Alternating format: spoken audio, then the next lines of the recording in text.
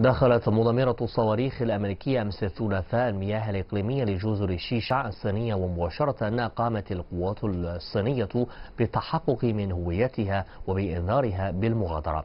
في هذا الشأن قالت المتحدثة باسم وزارة الخارجية الصينية هوا تشونيين في مؤتمر صحفي اليوم الأربعاء إن الجانب الأمريكي يقوض سيادة الصين وأنها وإن الجانب الصيني عرب عن احتجاجه الشديد إزاء ذلك تعد تصرفات السفينة الحربية الأمريكية انتهاكا للقانون الصيني والقانون الدولي المعنيين وتقوض سيادة الصين وأمنها وتهدد أرواح الأفراد على الخطوط الأمامية. نعارض هذه التصرفات وقدمنا احتجاجات شديدة إلى الجانب الأمريكي. وقالت خوا تشوين إن الحكومة الصينية ستتخذ إجراءات ضرورية سعيا إلى الدفاع عن سيادتها الإقليمية ومصالحها البحرية.